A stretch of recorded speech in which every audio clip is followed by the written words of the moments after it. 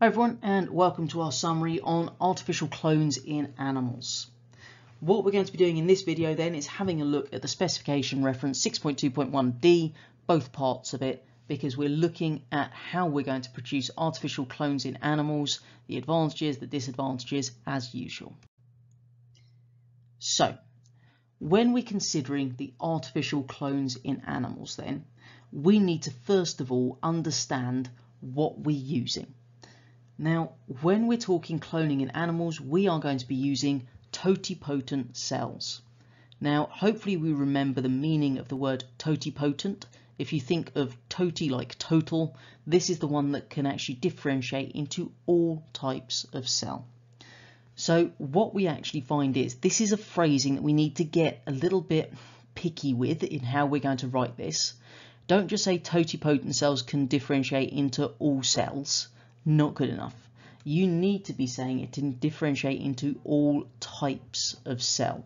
So please just be a little bit mindful of how you actually phrase your answers there. Where do we find these totipotent cells? Well, they're found in very early embryos in animals. What we're going to start off with then is this idea of reproductive cloning. Now, reproductive cloning is how we're going to produce large numbers of genetically identical animals.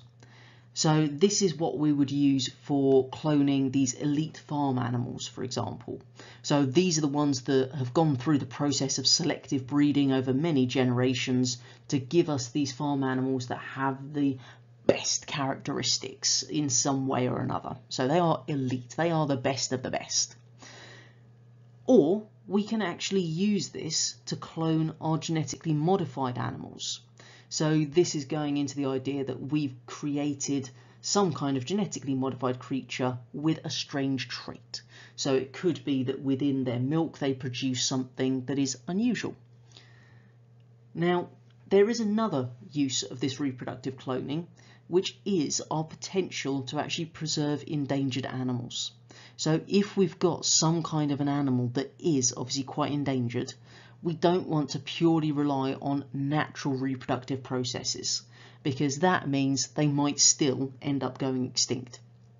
If we could use this reproductive cloning, we could potentially produce larger numbers of them and therefore protect the species from extinction. What we're going to do then is have a look at the processes that we can use to clone our animals artificially. So the first one is a process called embryo splitting. So what we're going to do is go through this process so we understand how this comes about. First thing then is we're going to start with a zygote. Now the zygote is basically our fertilized egg cell. Now, we will have created this zygote through the process of IVF, in vitro fertilization. So this is obviously a lab-based process whereby we've got the egg and then we introduce the sperm into basically a petri dish together. Once they've been introduced, they fertilized, formed the zygote, we actually allow them to go through cell division to create this small ball of about 16 cells called a morula. So we can see that down in the bottom corner there. This is what we're making. What we then do is we separate those cells and they're going to then continue dividing. So what we've actually done is once we've got that little ball of cells, we're literally splitting them up. Hence embryo splitting. We've literally got a ball of cells, we're then separating the cells out, they continue dividing, and then each of these small masses of cells is going to be implanted into a surrogate. They will then hopefully grow, develop as a usual baby would, be born, but they will obviously be genetically identical to one another. Now, in terms of one thing to bear in mind as far as embryo splitting goes, it's still relying on obviously this process of fertilization, so an egg and a sperm joining together. So in terms of the exact genotype and the exact phenotype, that's going to be dependent on what sperm and what egg we used. So we're not actually going to see those characteristics until those organisms are born. So what we do know is if we're using obviously certain animals eggs and certain animals sperm, you know roughly what's going to come out and you know that all of the offspring will be genetically identical to one another, but you won't know the exact genotype or phenotype until they are physically born.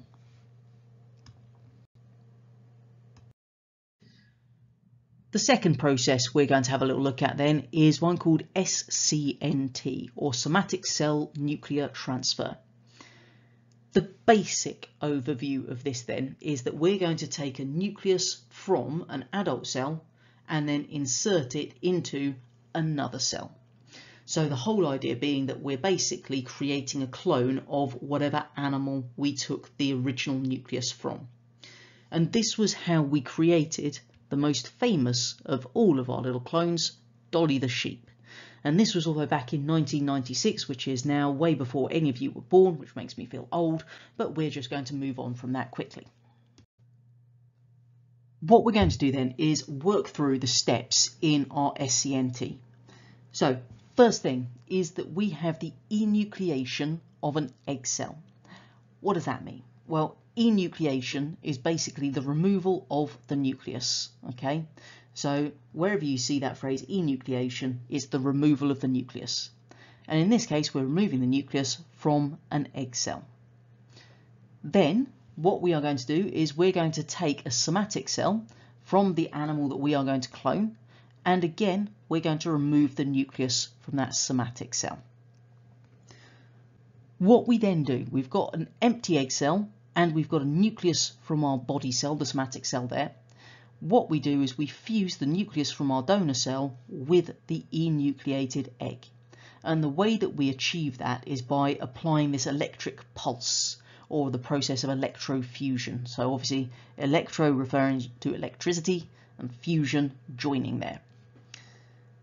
Once we've actually got the nucleus fused with that enucleated egg, then basically what we've done is insert the nucleus into the egg cell. So we've created a new egg cell, but with that diploid nucleus in there. That egg is then going to start dividing to produce the small ball of cells as it would if it had been fertilized normally. And then we take the young embryo and we implant that into the uterus of our surrogate animal. Now that surrogate may be the same one that the actual original cell came from, could be a completely different one. Really doesn't matter. Surrogate is just the one that's basically providing the uterus for that little organism to develop in. So hopefully this little diagram just helps you to visualize the process a bit better. What we have then, this is our somatic body cell at the top. And what we're going to do is extract the nucleus first of all. At the same time, we've got our egg cell. We extract the nucleus and that nucleus just discarded. We don't need it, it's irrelevant. And there we've got our enucleated egg cell, so an egg cell with no nucleus. The nucleus from our somatic body cell and our enucleated egg cell placed together and then we fuse them in that electrofusion process and then that's going to undergo normal cell division in order to produce our little clone in the future. That is then going to be inserted into the surrogate mother where it will fully develop. There is one point that we should bear in mind here, that even though we have obviously transferred the nucleus from our somatic body cell into the egg cell, that's the only thing we have transferred. We haven't swapped out all of the things like the mitochondria. And hopefully we do know that mitochondria actually contain their own DNA.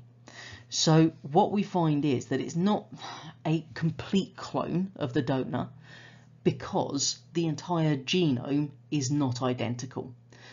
Yes, the DNA within the nucleus will be identical to the original body cell it came from, but the mitochondrial DNA will still be the same as the organism that the egg cell originated from.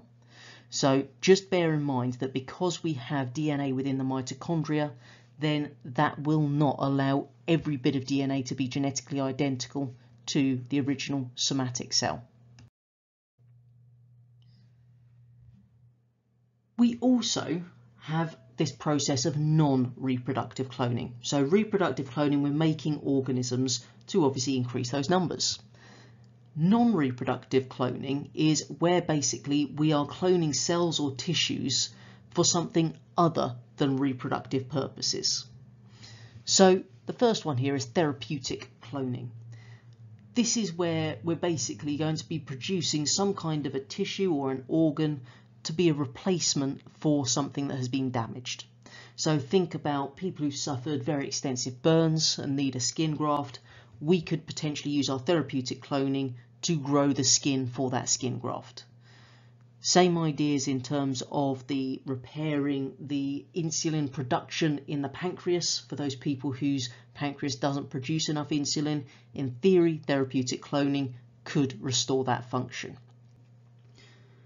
One point that we should bear in mind here is when we're looking at this therapeutic cloning technique, so trying to reverse some of these medical conditions, if you like, through using cloned cells, then if the tissues that we are growing came from the patient's own cells, then we won't have issues with rejection for the simple fact that those cells that we are creating will be genetically identical to the recipient. So that means the body will recognize them as self and therefore won't mount this immune response against them.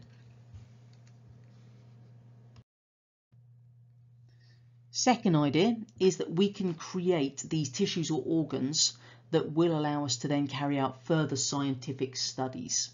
Now, this could be in terms of development of drugs. So when we're looking at testing drugs before they obviously go to market, etc., this is going to provide us with a supply of cells and tissues that will allow us to test those uh, actual drugs for any dangerous side effects, for example. We can also have a look and see how genes are actually involved in different development and differentiation functions and maybe even looking into different chemicals that we can use in the whole techniques of gene switching. So can we develop a particular treatment or drug that is going to allow us to basically switch off a particular gene? If we can, that could open up the realms of potential treatments for genetic conditions in the future. So we can obviously generate lots of tissue and organ that can then be used in those scientific studies through this non-reproductive cloning. Last thing we need to do then in this video is consider the arguments for the artificial clones in animals and arguments against the artificial clones in animals. First of all, arguments for. If we're able to produce large numbers of genetically identical farm animals, they're all going to share those same desirable characteristics. So if you wanted a whole bunch of sheep that produce really woolly wool, then we could obviously produce them through artificial cloning. Every sheep within your flock will then have that same really woolly wool that then allows you to make maximum profit from them. Secondly, we don't need animals or humans in drug trials if we are using this non-reproductive cloning to produce obviously tissues and organs that we can test our drugs on. Thirdly, we can get genetically identical tissue which then avoids the problems of rejection when we're looking at treating obviously different accidents or disease symptoms. We've got a method of doing that without the issues of rejection that we see with other donor material. And the last one, we already mentioned that reproductive cloning being used to increase population sizes of endangered species, hopefully preventing them from becoming extinct. The arguments against artificial cloning in animals, well, same thing we saw with the plants. There's a lack of variation because they're all genetically identical to one another. Therefore, they're all susceptible to the same factors. One disease could wipe out the lot of them. That's not great. Secondly, the success rate of our adult cell cloning is actually pretty poor. And the whole process, as you can imagine from looking at it, is expensive. As we found with Dolly the sheep and with other animals that we have cloned, then they may actually be less healthy than those produced through natural means, and they've got shorter lifespans. So they develop a range of other conditions that were unexpected, and they don't live as long. And finally, we've got the good old friend of ethical issues, because when we're talking about embryos, for example, when is it that we can get rid of it, so to speak, without creating a dilemma for some people? Now, obviously, this is going into the territory of religions, etc., and obviously belief systems, which is a very grey and murky area we're not going to delve into in A level biology. But just be aware that there are ethical issues over the duration of the existence for embryos before we would deem it as a full life form. And that's something I'm not weighing into. You can make your own decisions on it there. As always, don't forget to subscribe so that you can see when I upload the next video. And of course, head on over to the website to get additional resources to help you out with your A-level biology studies.